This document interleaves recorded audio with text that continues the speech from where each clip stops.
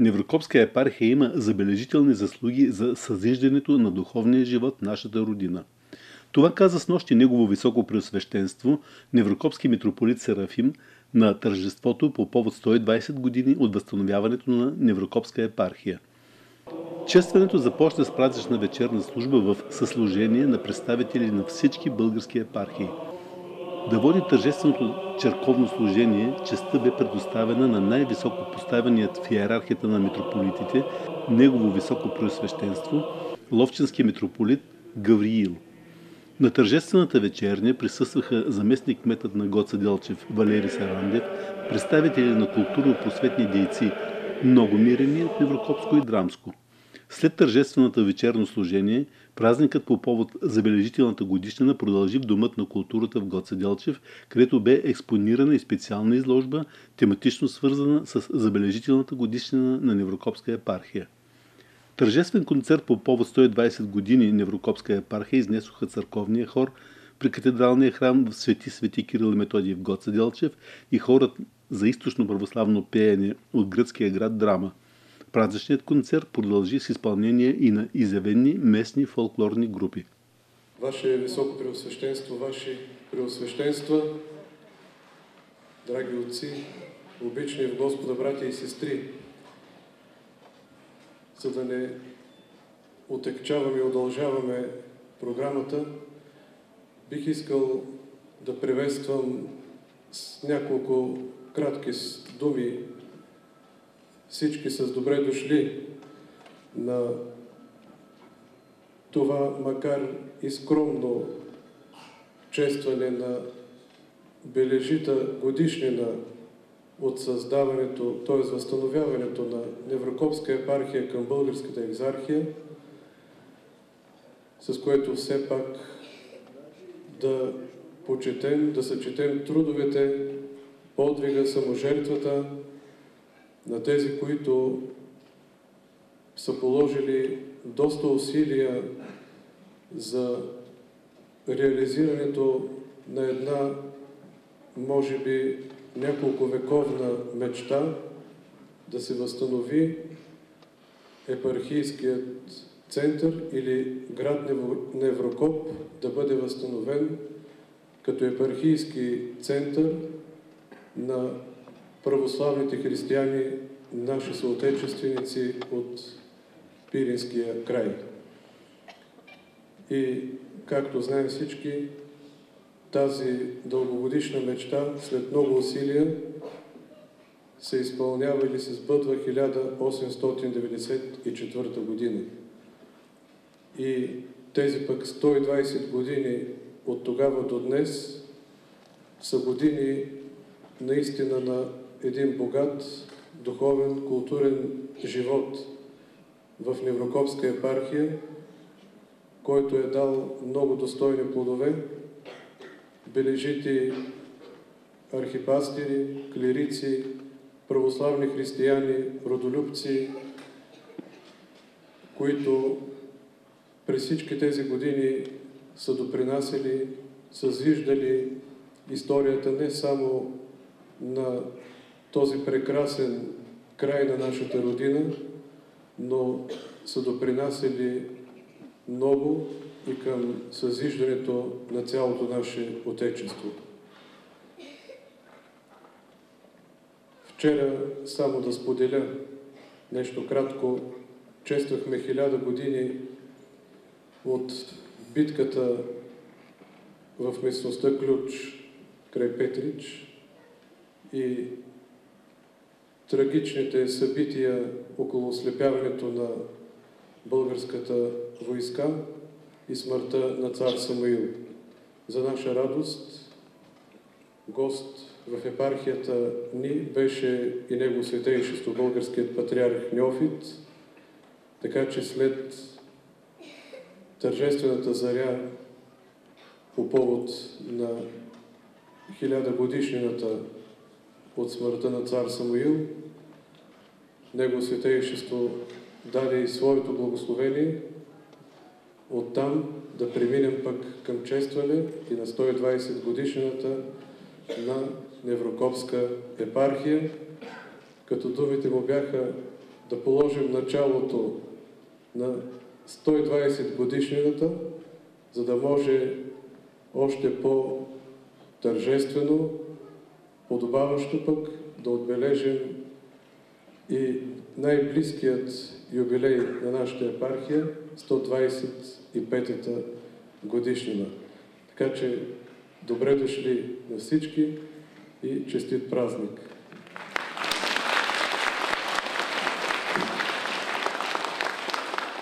Ваши високи преосвещенства, Ваши преосвещенства, уважаеми господин заместник кмет, госпожи и господа. 211 години след като патриарх Йоаники II Константинополски закрива Неврокопската българска епархия и я слива с Зърненската, а няколко години по-късно с Драмската и Филипийска, уморени от беззаконните препирания с патриаршията, у неврокопските първенци назрява идеята за стратегически ход, отказ от патриаршията. За целта на 1 февруари 1867 година Илия Дуков съобщава на Стефан Веркович, че неврокопчани са решили да се писуват унията. Идеята за уния с Римокатолическата църква не е убеждение на неврокопчани, а временна маневра, целяща да активизира руското посолство в Цариград. Очакваното въздействие е постигнато. Руското посолство предприема енергични мерки за уреждане исканията на неврокопчани. В Неврокоп пристига руският монах Павел, който успява да склони местните първенци да отеглят молбата си за уния. В подкрепа борбата на неврокопчани се намесва и Петко Славейков, който пише във вестник Македония от 4 март 1867 година следното. Това, което иска Неврокопската община, на която черквата стои затворена, стои единствено в тяхната добра воля да си го вземат сами. През 1867 година неврокопчани отправят поредното си прошение до високата порта, в което открито настояват да бъде учредена българска неврокопска епархия с български владика. С този акт всъщност те поставят началото на нов етап в църковно-националната борба в този край. С настъпването на 1869 година започва окончателно затвърждаване на успеха на българщината в Неврокопския край. През същата година една смесена комисия в Цариград съставя проект, с който се предвижда създаването на самостоятелна българска църковна институция.